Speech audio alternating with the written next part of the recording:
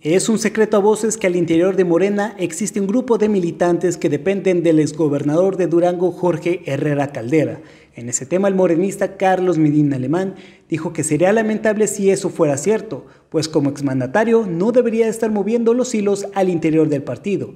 Asimismo, recalcó que ya no se trata de fortalecer al PRI, sino es un tema sobre poder económico y político. Hay un grupo que todo mundo lo identifica con él, hay un grupo que todo mundo dice que depende de él. Eh, será leyenda, será realidad, quién sabe, pero en algunos hechos a veces nos dicen que sí, en otros hechos a veces nos dicen que no. Déjeme decirle que ese grupo perfectamente identificado, pues siempre fueron afines al gobierno de Herrera Caldera y pues eh, ahora sí que, como dice el dicho, matas un perro y te queda el apodo de por vida de mataperros, ¿verdad? Entonces a ellos se les eh, incluye en ese grupo y pues por consecuencia siempre vamos a estar con la sospecha de que son de ese grupo. Y bueno, pues eso ahí algún día se llegará a saber la verdad.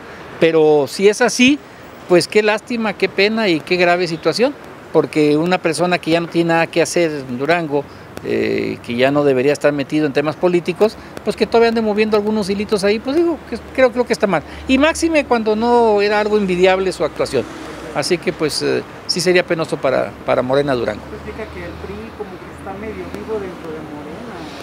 ¿Cómo sería esta lectura? Pues no tanto el PRI, ya no es un asunto de partidos, es un tema relacionado con, con, con grupos, con grupos eh, de poder, más bien de poder económico y político, ya no tanto partidista. Es decir, no es que el PRI o el PAN o el PT o el PRD estén incluidos, sino gente que estuvieron en esos proyectos, que se trajeron sus mañas y se vinieron a Morena a seguir repitiendo y replicando sus mañas y a tratar de eh, meterlas en la estructura del partido, las mañas que ellos allá aprendieron o que allá fomentaron o que allá construyeron y que aquí pues no debería de ser. Es una pena, es una vergüenza, pero pues es una realidad también. O sea, lo tenemos, toda la gente lo sabe. No podemos engañar a la gente diciendo que no pasa nada. O sea, salir y decir que está todo bien, yo no soy de eso, no puedo. ¿Por qué? Porque si las cosas están mal y ustedes lo saben y la gente lo sabe, pues ¿para qué decir que no es cierto?